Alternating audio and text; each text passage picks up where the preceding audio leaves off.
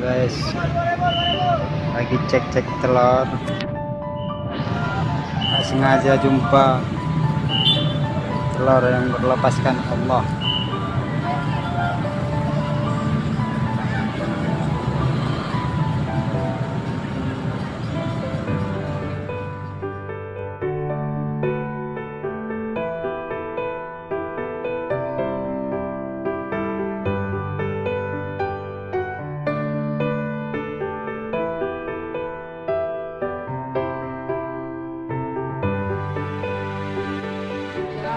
Thank you.